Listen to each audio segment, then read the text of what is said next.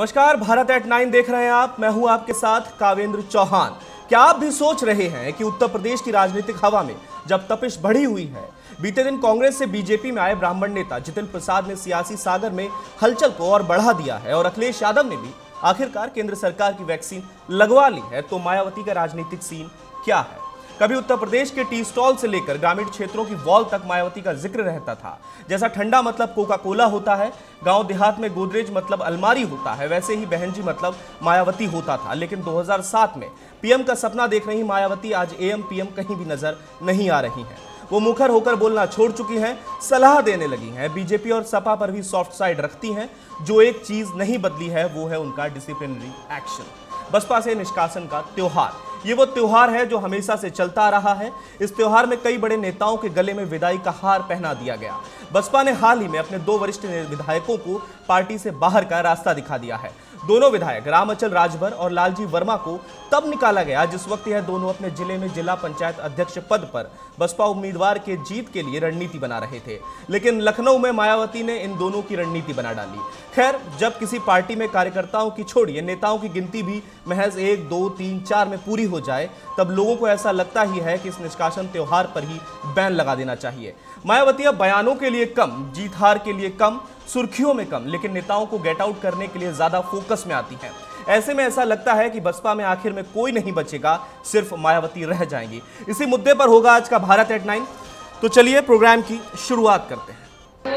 किसान, व्यापारी, कर्मचारी एवं अन्य कारोबार में लगे लोग भी अपनी विभिन्न समस्याओं को लेकर आज भी हमें काफ़ी ज़्यादा दुखी व परेशान नज़र आते हैं। तो मायावती के कदम से सब हैरान हैं। इस पर हमारे भी कुछ सवाल हैं। सवाल है कि नेताओं की सफ़ाई से पार्टी की सफ़ाई होगी या पार्टी का सफाया?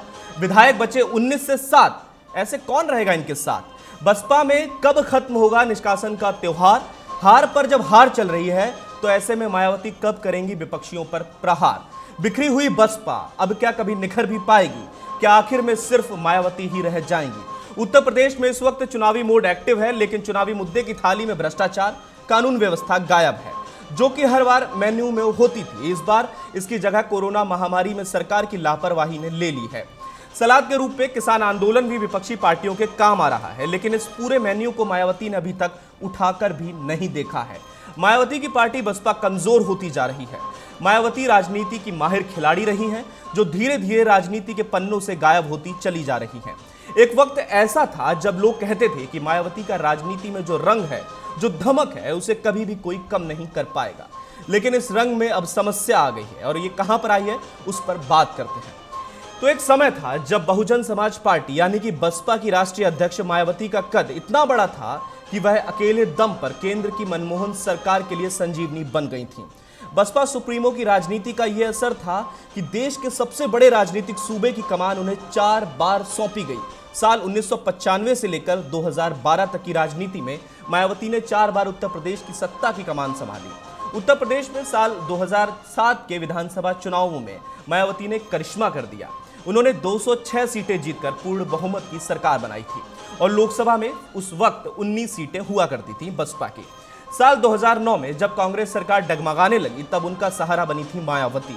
2009 के लोकसभा चुनावों में बसपा ने 20 सीटों पर जीत दर्ज की थी। पहले से एक ज़्यादा, लेकिन यह मायावती के लिए अच्छी खबर नहीं, बल्कि झटका था।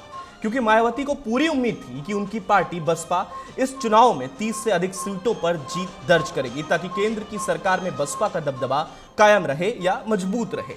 दावा किया जाता है कि मायावती ने 2009 के इन्हीं चुनावों से प्रधानमंत्री बनने का सपना देखा था, जो कि बाद में टूट गया। क्योंकि उस लोकसभा चुनाव में बसपा से अधिक सीट समाजवादी पार्टी ने जीत ली थी। सपना बड़ा था। मायावती के मन में अभी भी बना हुआ था, लेकिन 2012 के यूपी विधानसभा चुनावों ने सारे सपनों पर ठंडा पानी डाल दिया। 2012 के इन चुनावों में 80 सीटों पर जीत दर्ज की थी। गौर करने वाली बात यह है कि इससे पहले बसपा के पास 206 सीटें थी। 206 से 80 बड़ा डाउनफॉल हुआ, जिसका फ़ायदा समाजवादी पार्टी को हुआ। सपा इस चुनाव में पूर्ण बहुमत हासिल करके सत्ता पर काबिज हो गई थी। बसपा का संगठन मज़बूत है, पूरे उत्तर प्रदेश में, मगर बसपा ताकतवर होने के बजाय दिन ब दिन कमज़ोर होती गई है। साल 2014 के लोकसभा चुनाव में मायावती भी पीएम का चेहरा बनकर उभरी थी। चर्चा थी कि अगला पीएम यूपीए और एनडीए से अलग हो सकता है, और मायावती का यहाँ दबी आवाज़ में ज़िक्र भी होता था। मायावती के नामों पर भी खूब चर्चा हुआ करती थी। कहा जाता था कि मायावती एक ऐसा नाम है जिस पर देश के हर बड़े नेता अपनी सहमति जता सकते हैं। चुनाव संपन्न हुआ और जब नतीजा आया तो सबके दावे हवा में छूमंतर हो गए। नरेंद्र मोदी केंद्र की सत्ता में बड़ी बाजी मारकर सामने आ गए। बसपा का खाता तक नहीं खुल पाया। मायावती की पार्टी का यह अंजाम होगा, ऐसा तो कभी मुलायम सिंह यादव ने भी सपने में नहीं सोचा होगा। नरेंद्र मोदी की आंधी में उठ जाने वाली बसपा का हाल, उत्तर प्रदेश के विधानसभा चुनाव में भी खस्ता हाल हो जाएगा, इसकी भी किसी को कोई उम्मीद नहीं थी। साल 2007 से 2012 तक बहुमत से सरकार चलाने वाली पार्टी महज 10 साल के बाद 2017 में तीसरे पायदान पर पहुँच गई है। बसपा 10 सालों में ही 206 सीटों से 19 सीटों तक लुढ़क कर आ गई है। हालाँकि साल 2019 के लोकसभा चुनाव में अपने सबसे मज़बूत दुश्मन सपा के साथ हाथ मिलाने के बाद वह लोकसभा में 10 सीटों का आंकड़ा छूने में सफल ज़रूर हो गई है। जब पार्टी धीरे धीरे बिखरने लगे तो पार्टी मुखिया का काम होता है सबको समझना, समझाना, संभलना। पार्टी के कार्यकर्ताओं को एकजुट कर नाराज़ नेताओं और कार्यकर्ताओं को मनाने की कोशिश करना। लेकिन बसपा पर यह फॉर्मूला फिट नहीं बैठता। बसपा की अब तो आदत में शुमार हो गया है कि वह चुनाव से पहले बड़े नेताओं को ऐसे पार्टी से बाहर निकाल देती है, जैसे दूध से मक्खी। बसपा किसी भी नेता को निकालने की बस एक ही वजह बताती है कि वह नेता पार्टी लाइन से हटकर कार्य कर रहा था और डिसिप्लिनरी एक्शन लिया गया और बताया जाता है कि वो डिसिप्लिन की धज्जियाँ उड़ा रहा था, पार्टी लाइन से अलग हट के काम कर रहा था। ऐसा लगता है। इस पार्टी में डिसिप्लिन फ़र्स्ट प्रायोरिटी है। देखने सुनने में तो ऐसा ही लगता है, लेकिन बसपा और मायावती पर जो आरोप लगते हैं, उनको सुनकर तो ऐसा नहीं लगता। खैर 19 से सात विधायकों पर आ गई बसपा के लिए यह कहना बिल्कुल ठीक होगा कि मायावती से महज 19 विधायक नहीं संभाले जा सके। बाकी बचे सात कब किसी का हाथ पकड़ ले। साइकिल पर सवार हो जाए या कमल का फूल वाला गमछा पहन ले, कहा नहीं जा सकता। बसपा की जब स्थापना हुई तो उस समय के तमाम नेता आज बसपा से अलग हो चुके हैं। बसपा की स्थापना जब हुई तो तमाम बड़े नेता बसपा में हुआ करते थे, जिसमें नाम बताता हूँ आपको। सोनेलाल पटेल, नसीमुद्दीन सिद्दीकी, जंग बहादुर पटेल, दीनानाथ भास्कर, मसूर अहमद, दद्दू प्रसाद, आर के चौधरी और राज बहादुर जैसे नेता शामिल थे। बड़े नेता थे ये। इसके बाद स्वामी प्रसाद मौर्य, ब्रजेश पाठक, इंद्रजीत सरोज, जुगुल किशोर जैसे नेता बसपा में शामिल हुए, जिनमें से अधिकांश बसपा को अलविदा कह चुके हैं।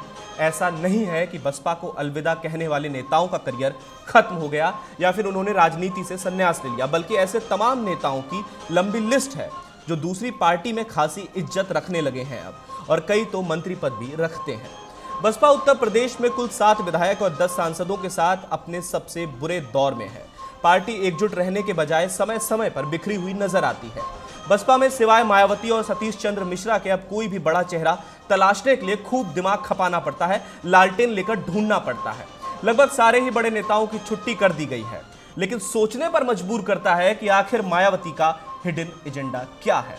उनकी अगले साल होने वाले यूपी चुनावों को लेकर रणनीति क्या है, वो क्या छुपा रही हैं? अगर वो कोई मास्टर स्ट्रोक खेलने वाली हैं तो ठीक है, वरना मायावती जी ने जो स्पेस यूपी की राजनीति में छोड़ा है, उसका फ़ायदा कहीं ना कहीं प्रियंका गांधी उठा सकती हैं। बाकी बाहर बाहर से तो यही लगता है कि ऐसा ही चलता रहा तो बसपा से एक दिन सब निकाल दिए जाएँगे, आखिर में बचेंगी तो सिर्फ़ मायावती। तो आज के लिए फ़िलहाल इतना ही, कल एक फिर नए मुद्दे के साथ आपसे मुलाकात होगी और उस पर खूब बात होगी। बाकी देश और दुनिया की तमाम बड़ी खबरों के लिए आप बने रहिएगा न्यूज़ वर्ल्ड इंडिया के साथ। धन्यवाद।